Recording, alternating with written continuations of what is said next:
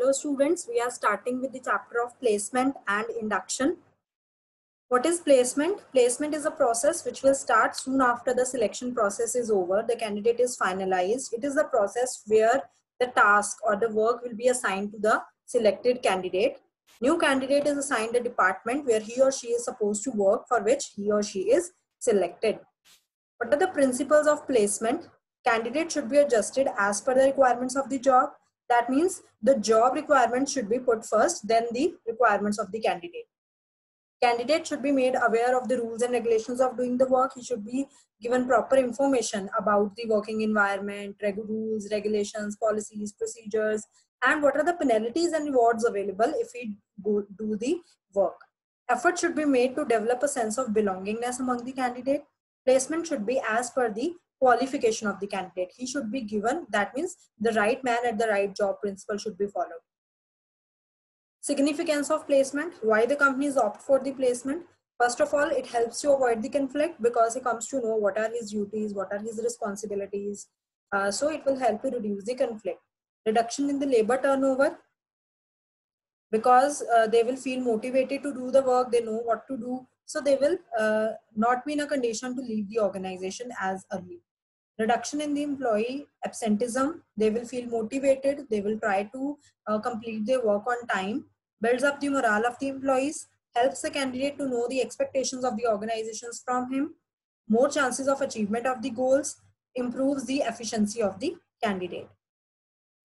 What are the problems in the placement? Problem comes when there are dependent jobs. In case of independent job everyone is doing their own part of the work no job is interrelated. So uh, there is no problem in the placement. But in case of dependent jobs, when they are of two types, sequential or pooled. Sequential means one by one activity is going on and the work of one uh, worker is dependent upon the activity of the uh, uh, fellow worker. Then pooled means the activities of all the employees are pooled, then a final output is made. In this type of work, there is a need of the proper placement.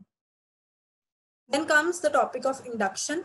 Induction is the process of introducing the employee to the organization, right? He is made aware of all the rules, regulations, policies, authority responsibility relationship, working environment at large. Effort is made to generate a feeling of belongingness among the newly entrant. He is told, he is given introduction about the organization, its working and everything. What are the objectives of induction? To promote loyalty among the entrant, to give good impression about the organization because first impression is the last impression to inform him about the rules and regulations, to provide information about the superior and subordinate. Superior means to whom he is accountable and subordinate means who are accountable to him. To reduce the confusion and chaos later on, to reduce the nervousness and shyness of the employee, to reduce the possibility of exploitation by any co-worker so that he is not exploited by any other co-worker, he is given introduction of the organization then what should be there in the induction program? Every company every organization have their separate induction program where the history culture policies uh, areas of operation nature of the product and services organization structure location employee benefit programs personal policies grievance redressal terms and conditions training development programs all these information should be provided to the uh, newly entrant on the and it should be included in the induction program what are the elements of a good induction program? There are three basic elements. First of all, introductory information, that means information about the rules, regulations, policies. On the job information, about the department where he is going to work. The information, all every type of information regarding the department, departmental head, nature of the job.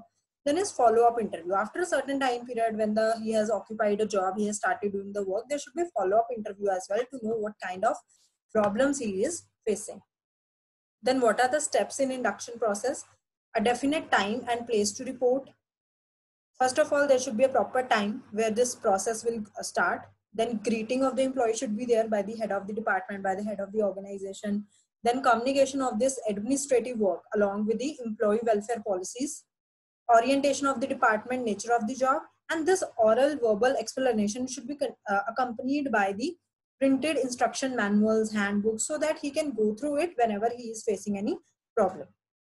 Then what are the problems in this induction process? Sometimes uh, it is uh, the company is having uh, is not having the trained supervisor who can uh, adequately run this induction program. there should be proper sequence of the information if the you have provided him with overloaded information it will lead to chaos in his mind employees asked to perform sometimes very early. He is assigned some challenging jobs which for which the outcomes will be negative. So the employee becomes panic at that situations. So employee is expected to work on a number of jobs simultaneously. At starting should very less number of jobs should be given to him. No simultaneous tasks should be there. But if the number of uh, jobs are given a lot of number of jobs are given simultaneously, then he will feel demotivated. Then what are the induction practices?